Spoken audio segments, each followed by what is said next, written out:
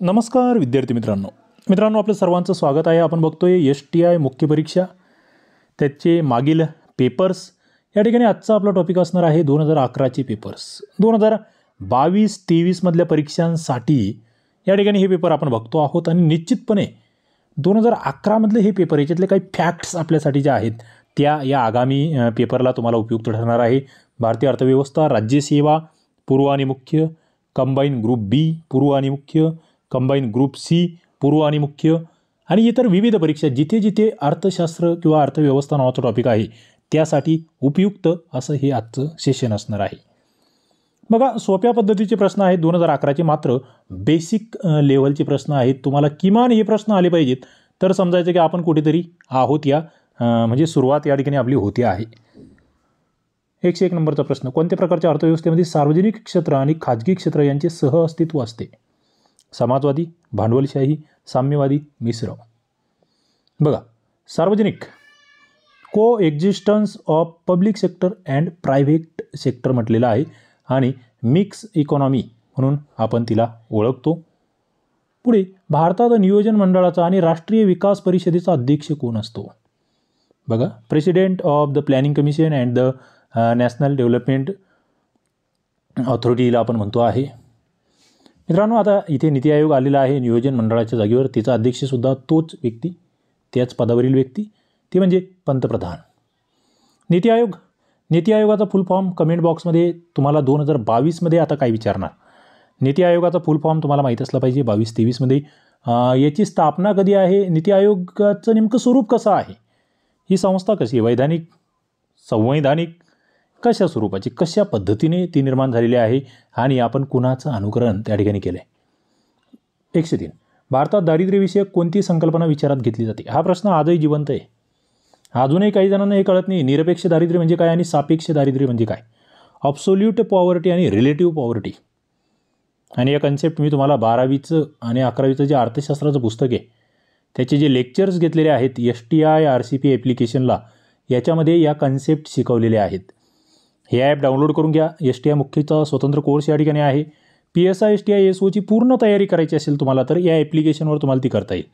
सगळं मुख्यचं ते मराठी इंग्रजी व्याकरण प्रीचे सगळे घटक मुख्यचे इतर अर्थशास्त्राचे सहित सगळे घटक या ठिकाणी कव्हर केलेले आहेत. भारतामध्ये काय कोणती कन्सेप्ट कन्सिडर केली जाते? मित्रांनो निरपेक्ष दारिद्र्य म्हणजे एक विशिष्ट दारिद्र्य रेषा त्याच्यावरचे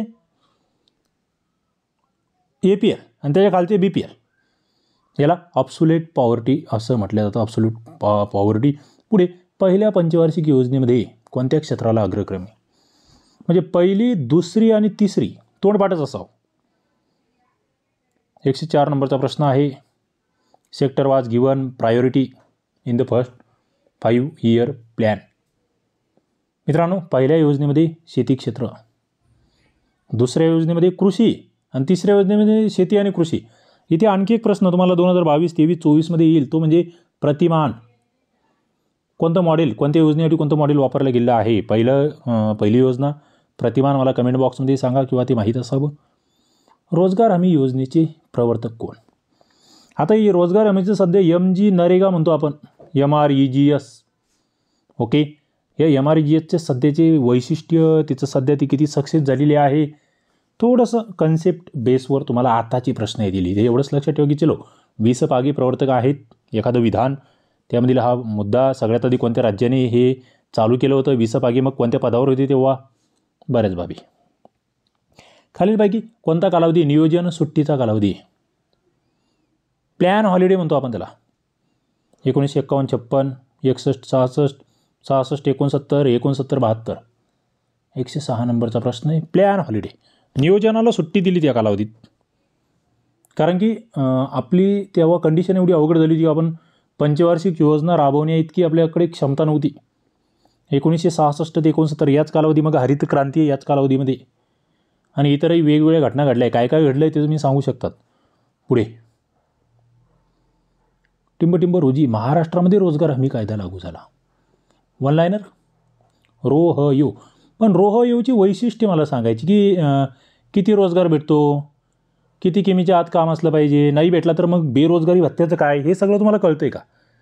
आज रोजी त्या बाबी माहीत असणं गरजेचं आहे. एकशे सात नंबरचा हा प्रश्न आणि इथे सव्वीस जानेवारी एकोणीसशे एकोणऐंशीला हा कायदा लागू करण्यात आला. आणि हे जरी दोन हजार अकराला विचारत असेल ना दोन हजार एकवीसला सुद्धा हे एका विधानामध्ये विचारलं जाऊ शकतं भाऊ कारण की एकोणीसशे एकोणऐंशीचं तेव्हाची म्हणजे आजही विचारलं जाईल. विधानं जेव्हा दिले जातील तेव्हा तुम्हाला ते विधान बरोबर देता आलं पाहिजे उत्तर.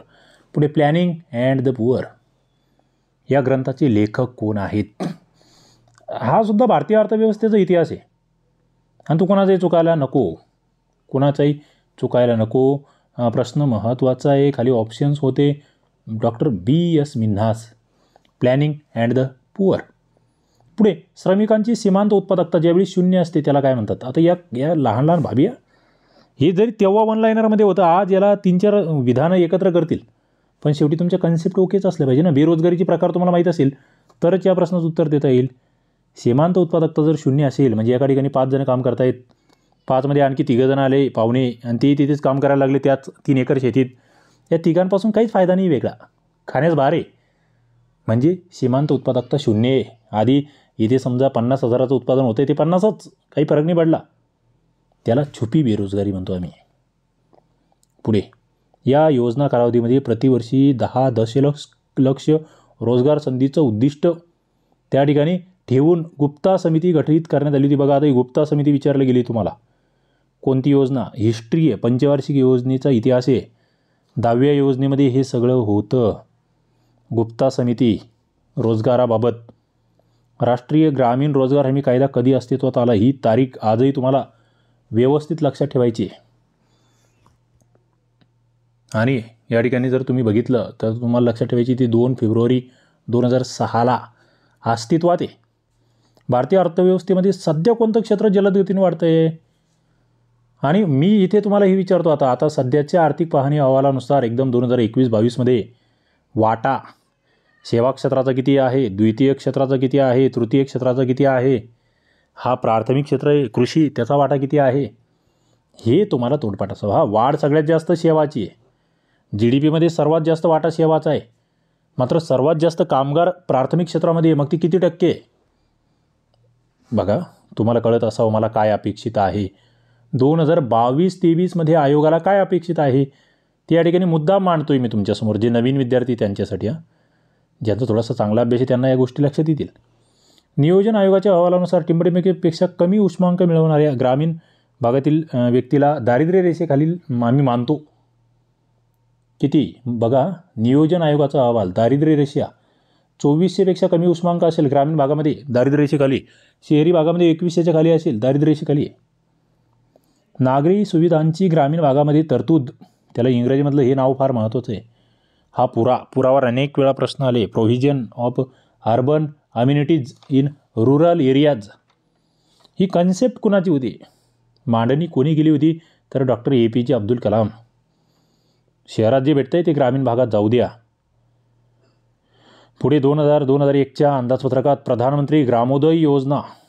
तिच्यामध्ये कशाचा समावेश नव्हता? बघा दोन हजार दोन हजार एकचं दोन हजार अकराच्या परीक्षेला विचारलं गेलं आहे म्हणजे काही तेव्हाचा चालू घडामोडी नाही आहे ते. तो इतिहास आहे.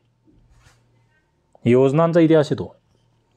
एकशे पंधरा नंबरचा प्रश्न विद्युतीकरणाचा समावेश नव्हता या ग्रामोदयमध्ये. म्हणजे आरोग्य प्राथमिक शिक्षण पिण्याचं पाणी हे सगळं आहे. पुढे.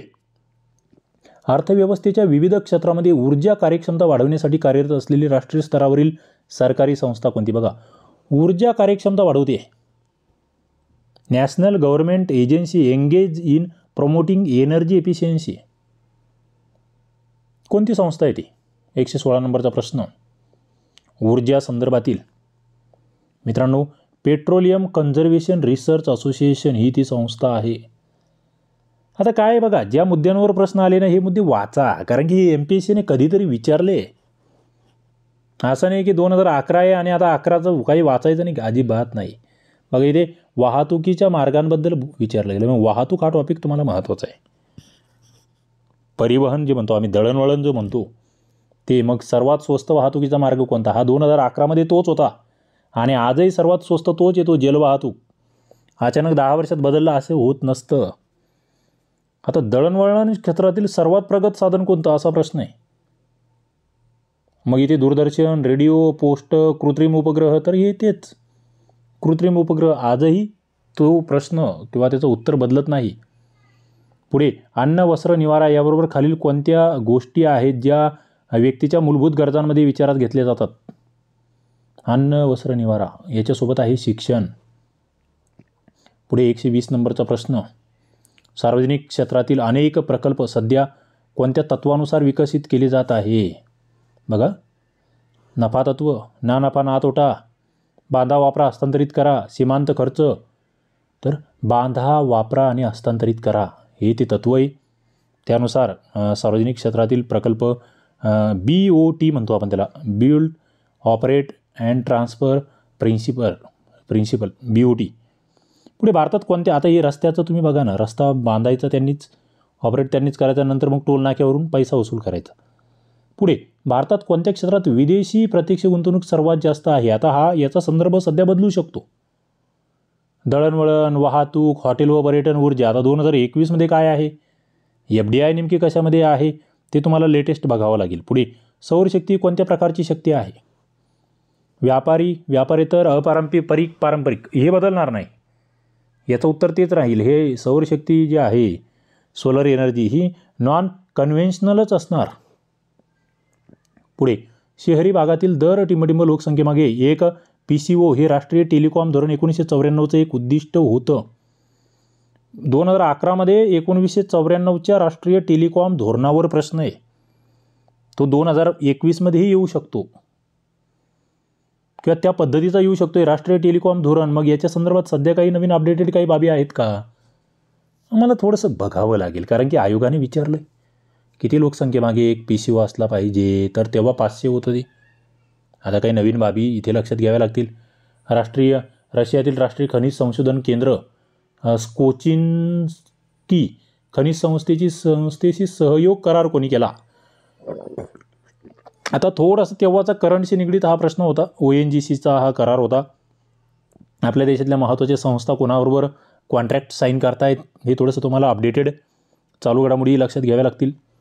भारताच्या पंतप्रधानांनी जवाहरलाल नेहरू राष्ट्रीय शहरी नूतनीकरण कार्यक्रम जो आहे हा तेव्हाच्या काळात फार गाजलेला आहे. हा J N N U R M थोडीशी तुम्हाला आता लेटेस्ट योजना इथे लक्षात घ्याव्या लागतील.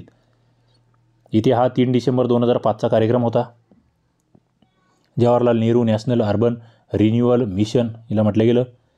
पुढे खालीलपैकी कशाचा विश्व व्यापार संघटनेशी संबंध नाही आहे डब्ल्यू टी ओ. बघा वाद निवारण यंत्रणा वस्तू व्यापारासाठी परिषद सेवा व्यापारासाठी परिषद विदेश मदतीसाठी परिषद. एकशे सव्वीस नंबरचा प्रश्न.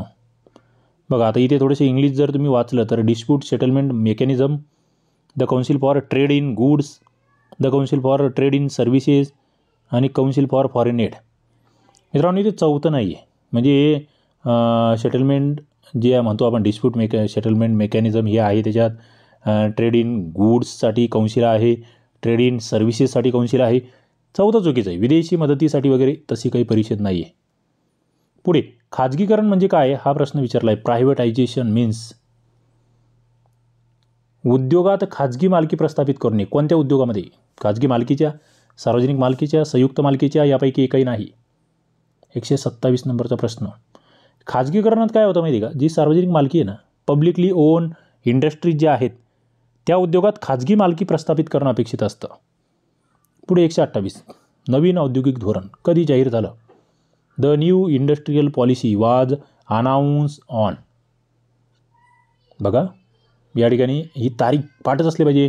एकोणीसशे अठ्ठेचाळीस छप्पन्न एक्क्याऐंशी सरळ सरळ तुम्हाला माहिती आहे चोवीस जुलै एकोणवीसशे एक्क्याण्णव. मग याचे वैशिष्ट्य काय होते? नवीन औद्योगिक धोरण मुख्यसाठी फार महत्त्वाचं एप्रिलला येतात हा हे प्रश्न. जगातील कोणत्या देशाच्या पुढाकाराने जागतिक व्यापार संघटनेची स्थापना झाली आहे बघा. पुढाकार घेणारा देश कोणता या डब्ल्यू टी ओमध्ये हे आजही तुम्हाला माहीत असावं. डब्ल्यू टी ओची हिस्ट्री तुम्ही जेव्हा अभ्यासतात तेव्हा या अमेरिका हे नाव लक्षात ठेवायचं. काही परिषदा त्या ठिकाणी झालेल्या आहे. ते परिषदामधले काही व्यक्तिमत्वही महत्त्वाचे आहे. पुढे नवीन आर्थिक धोरणापासून कोणत्या उद्योगामधील निर्गुंतवणूक वाढत चाललेली आहे बघा. कोणता उद्योग आहे? ज्याच्यामध्ये इन्व्हेस्टमेंट करतायत लोक. Okay disinvestment is increasings from new economic policy म्हटलं गेलं आहे सरकारी उपभोग्य वस्तू भांडवली वस्तू सहकारी वस्तू.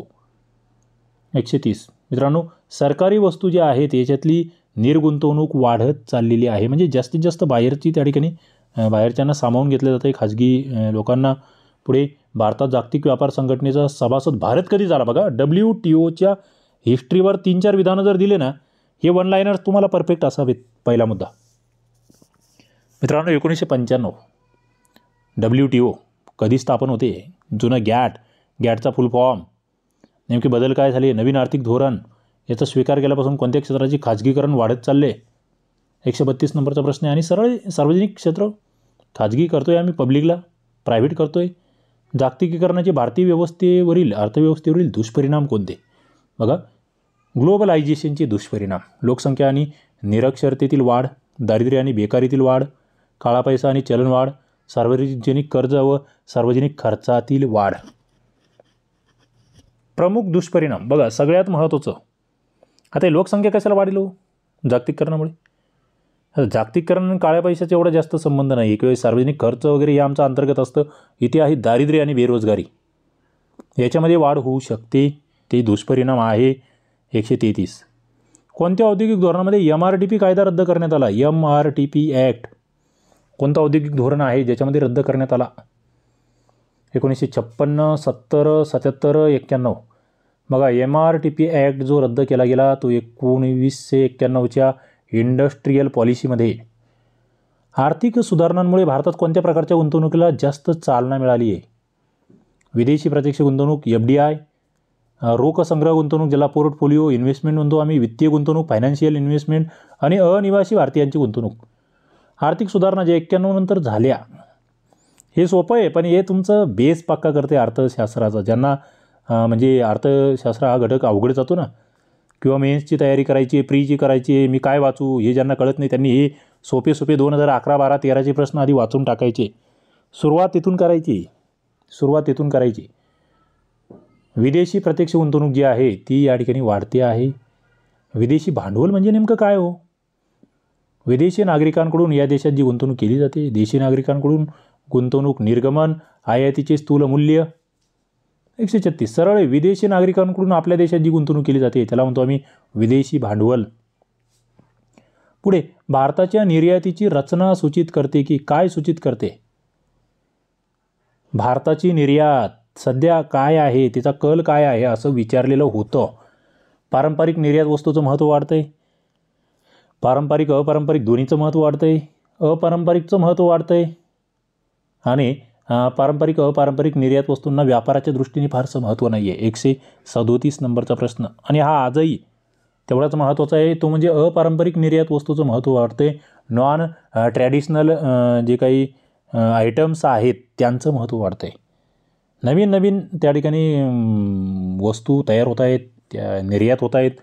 कोणत्या वर्षी एका वर्षात भारताचा ऋण वस्तू व्यापार शेष हा सर्वाधिक आहे. हिस्ट्री ऋण वस्तू व्यापार शेष जो की या खालील विधानांपैकी म्हणजे ऑप्शनपैकी सर्वाधिक होता आणि उत्तर होतं दोन हजार आठ नऊमध्ये आपण जी डी पीचा सर्वाधिक ग्रेट रे हे ग्रोथ रेट कोणत्या वर्षी असा सुद्धा प्रश्न या ठिकाणी बघितलेला आहे याच्या आधी बरोबर? आयात निर्यात धोरणाने जे न नऊ आणि चौदा दरम्यान होतं. दोन हजार वीसपर्यंत जागतिक वस्तूच्या व्यापारातील भारताचा वाटा दुप्पट करण्याचं एक व्यापक उद्दिष्ट ठरवलं आहे. बघा भारताचा वाटा किती? दुप्पट करायचा म्हणजे म्हणजे किती करायचा? दोन हजार वीसपर्यंत काय टार्गेट होतं? टार्गेट होतं तीन पॉईंट अठ्ठावीस टक्के करायचं. चार नंबरचं उत्तर या ठिकाणी दिलेलं आहे.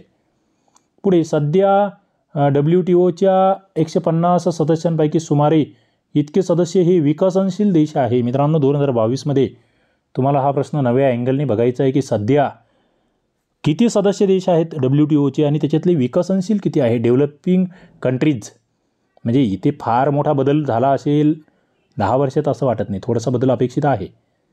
तर या ठिकाणी दोन तृतीयांश हे विकसनशील आहे. म्हणजे मॅक्झिमम देश हे विकसनशील आहे. जवळपास साठ पासष्ट टक्के. ते आता सहासष्टवरून साठवर आलं असेल. पुढे सरकारने टिंबटिंब रोजी पेटंटच्या कायद्यात तिसरी दुरुस्ती केली. पेटंटच्या कायद्यामध्ये दुरुस्ती.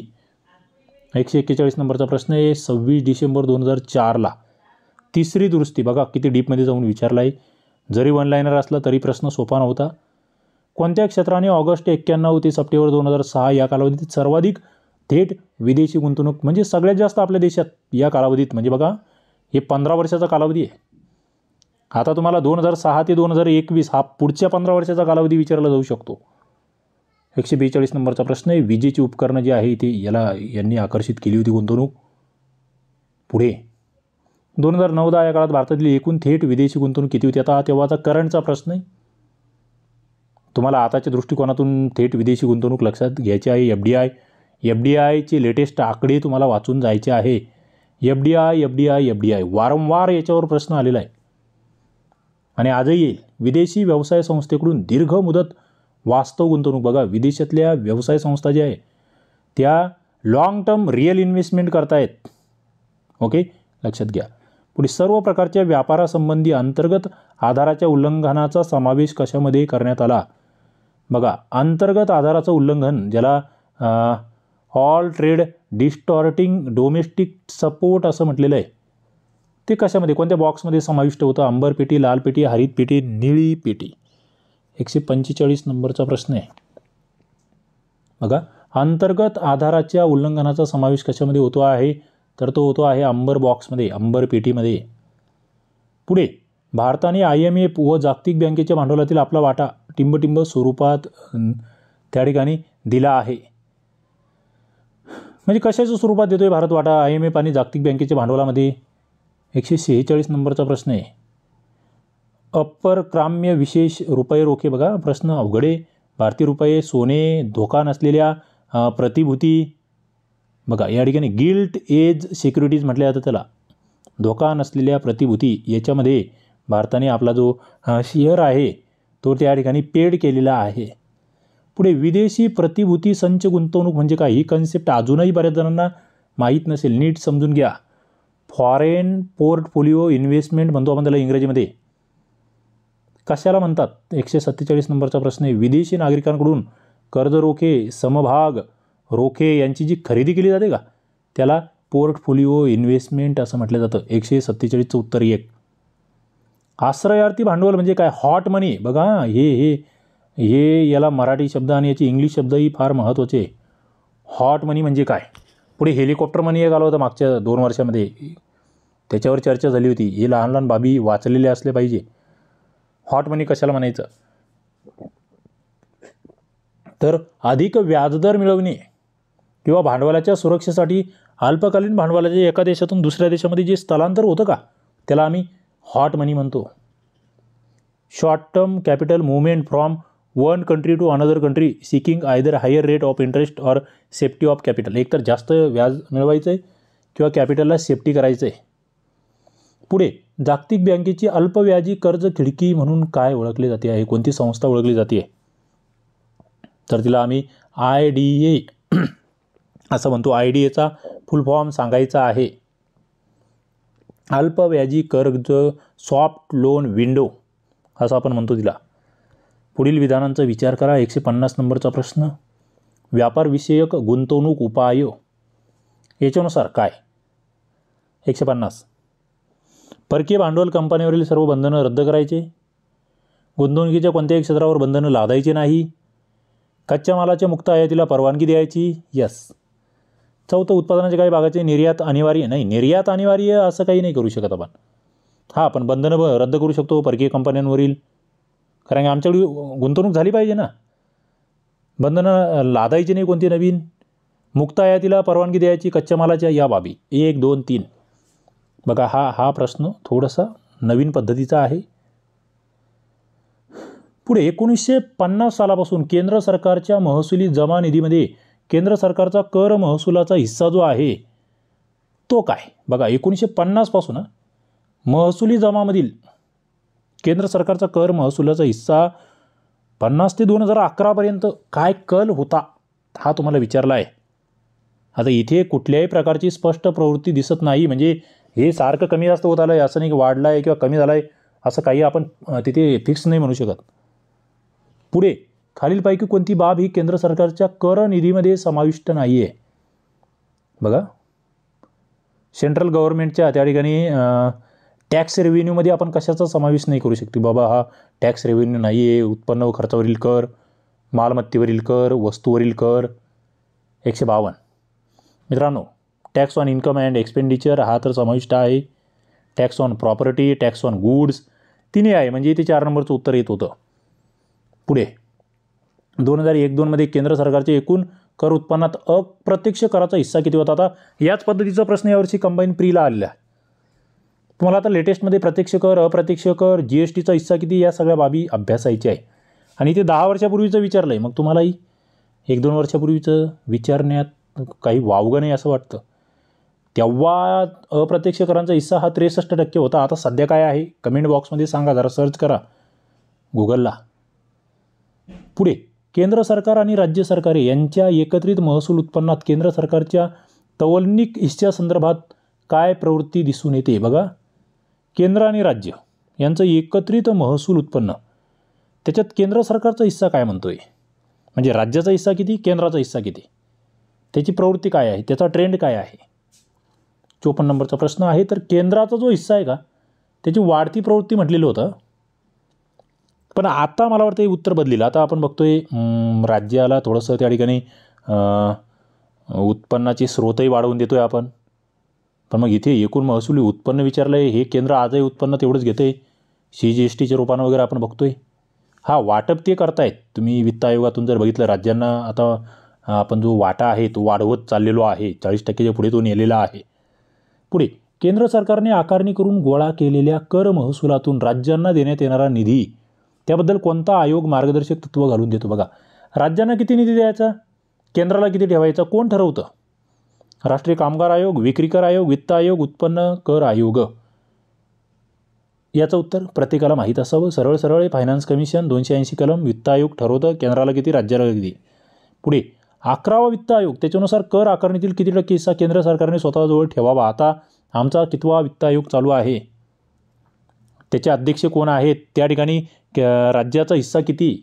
हे प्रश्न आताचे लेटेस्टमधले त्या आयोगाचे अध्यक्ष कोण?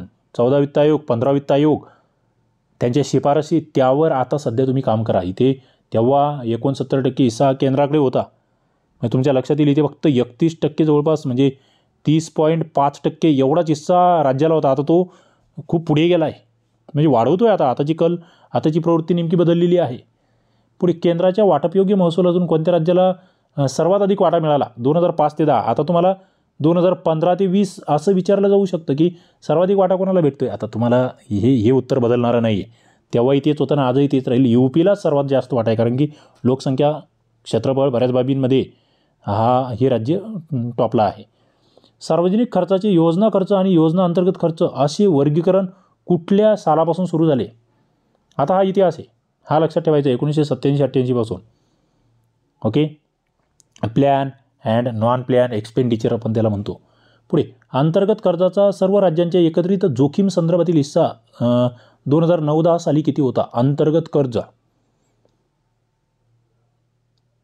एकशे एकोणसाठ नंबरचा प्रश्न उत्तर या ठिकाणी पासष्ट टक्के दिलेला आहे सध्या. तुम्हाला दोन हजार एकोणवीस वीसमधलं या ठिकाणचा आकडा हा करून जायचा आहे.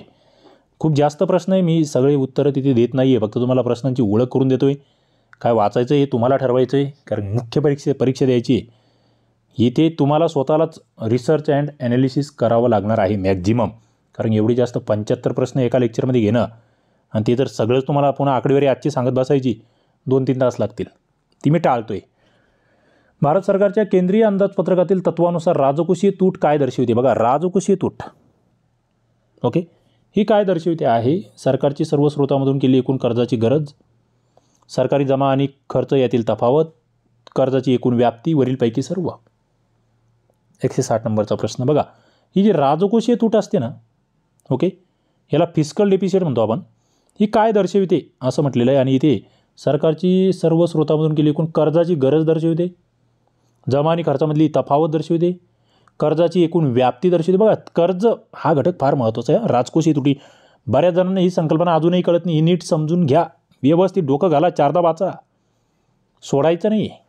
त्याला त्याची चिरफाड करायची. पुढे गेल्या काही वर्षापासून अंदाजपत्रकीय तूट नसते. कारण काय? अंदाजपत्रकीय तूट नसते. भांडवली महसूल हा महसुली तुटी एवढा नेमका असतो असं म्हटलेलं आहे. भांडवली महसूल हा महसुली तुटी एवढा आहे. त्याच्यामुळे या ठिकाणी अंदाजपत्रकीय तूट नसते. कन्सेप्ट समजून घ्यावी लागेल. अंदाजपत्रकीय तूट म्हणजे काय? तर हा प्रश्न काय आहे ते कळेल. म्हणून सांगतोय दोन हजार अकराचे जरी प्रश्न असतील तरी तुम्हाला याच्यातले जर दहा प्रश्नांमधल्या कन्सेप्ट कळत नसतील तर तेवढे तरी तुम्हाला नीट वाचायचे आहे. काही जरा म्हणतात सर दोन हजार अकरा एवढे सोपे प्रश्न आता अरे बाबा आता येणार नाही एवढे सोपे पण जे याच्यातले सोपे ते तुला आधी कळाले पाहिजे. नंतर मग अवघडचं बघ. पुढे भांडवली निधीमध्ये महसुलामध्ये कर्ज आणि इतर जोखीम काय दर्शविते? कर्ज आणि इतर जोखीम त्याला आपण बॉरोविंग्ज अँड अदर रिसिप्ट्स म्हणतो. याच्यामध्ये नेमकं काय कॅपिटल रेव्हेन्यूमध्ये ज्या बाबी आहे त्या हेडखाली जे मांडल्या जातं त्याच्यातून काय अर्थबोध घ्यायचा आम्ही? बघा कर्ज आणि इतर जोखमीमध्ये लोकांना देय असलेली सरकारी देयता. या अपेक्षित या लोकांना देय असलेली सरकारी देयता. पुढे बारा वित्त आयोगानुसार केंद्राच्या स्थूल महसुलातील किती वाटा हा राज्य सरकारला दिला जातो? आता बारावा वित्त आयोग आहे. या ठिकाणी उत्तर होतं अडतीस टक्के. आता तेरावा चौदावा पंधरावा वित्त आयोग चालू आहे. बरोबर? तुम्हाला आताच्या अनुषंगाने या ठिकाणी हे मुद्दे करायचे. भारतामध्ये एकोणीसशे एकोणनव्वद ते दोन हजार नऊ या कालावधीत सार्वजनिक कर्जा कर्जाचा वार्षिक वृद्धी दर काय होता? आता तुम्हाला दोन हजार नऊ किंवा दोन हजारपासून ते दोन हजार एकवीसपर्यंत विचारलं जाऊ शकतं. तो जो सार्वजनिक कर्जाचा वृद्धी दर म्हणजे सार्वजनिक कर्ज याच्यावर तुम्हाला थोडंसं काम करावं लागणार आहे. पब्लिक डेप हा एक विषय जो आहे तो करावा लागणार आहे. आणि त्याचं उत्तर तेव्हा होतं तेरा टक्के. एवढा तो वार्षिक वृद्धी दर होता. पुढे एकूण कर्ज व जोखीम याच्यामध्ये बाह्य कर्जाचा वाटा किती टक्के होता? दोन हजार दहा अकरामध्ये हा तेव्हाचा प्रश्न होता थोडासा चालू घडामोडीचा. तो तेव्हा तीन टक्के होता. आता काय आहे? ते करून जा. कर्ज हस्तांतरण योजनेचा मुख्य उद्देश काय आहे? ज्याला आदलाबदल स्वॅप योजना आम्ही म्हणतो. डेप स्वॅप स्कीम म्हणतो आपण. एकशे सहासष्ट. तर केंद्र सरकारने राज्य सरकारांना दिलेल्या खर्चिक कर्जाची परतफेड हा त्याचा उद्देश आहे. कर्ज हस्तांतरण योजनेचा मुख्य उद्देश.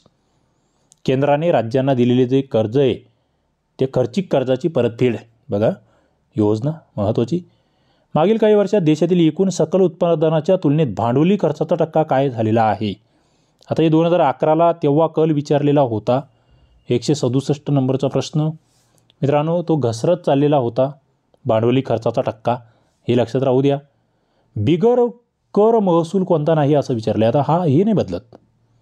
बिगर कर नॉन टॅक्स रेव्हेन्यू कोणता नाही म्हटलं आहे म्हणजे तीन मुद्दे याच्यातले आपल्यासाठी महत्त्वाचे बघा रिझर्व्ह बँकेचा नफा सरकारी उपक्रमांचा नफा त्याच्यानंतर सार्वजनिक कर्ज हे काही कर आहे का हो नाही? तरी हे काय आमचा महसूल आहे ना? हां केंद्रीय उत्पादन शुल्क जे सेंट्रल एक्साईज हे करामध्ये येतं. ते आम्ही कट करतो. म्हणजे या तीन गोष्टी ज्या ते बिगर कर महसूल आहे. आर बी आयचा नफा सरकारी उपक्रमांचा नफा सार्वजनिक कर्ज पुढे एकशे एकोणसत्तर.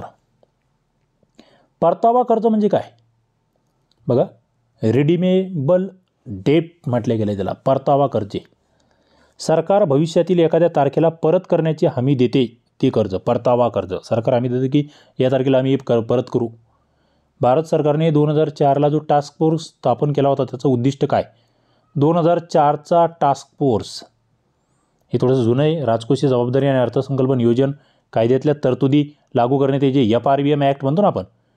याच्या दोन हजार बावीसला सुद्धा प्रश्न विचारला याच्यावर. ही म्हणजे फार महत्त्वाचं हे गंभीर आहे. प्रकरण व्यवस्थित अभ्यासावं लागेल. पुढे गेल्या काही वर्षातील केंद्र सरकारच्या नियोजन बाह्य खर्चातील सर्वात मोठी बाब कोणती? नियोजन बाह्य खर्च सर्वात जास्त. एकशे एकाहत्तर नंबरचा प्रश्न आहे. नियोजन बाह्य खर्च सगळ्यात मोठी बाब व्याज कर परतावा इंटरेस्ट पेमेंट आम्हाला व्याजावर खूप मोठा पैसा चुकवावा लागतो आहे तेरावा वित्त आयोग. सार्वजनिक कर्ज आणि एकूण सकल उत्पन्न यांचं प्रमाण काय? तेराव्या वित्त आयोगाच्या मते. बघा सार्वजनिक कर्ज आणि एकूण सकल उत्पादन म्हणजे ratio the debt G D P ratio म्हटलं गेलं होतं. ओके कर्ज आणि जी डी पीचा रेशो जो आहे तर तो या ठिकाणी अडुसष्ट टक्के हे उत्तर होतं.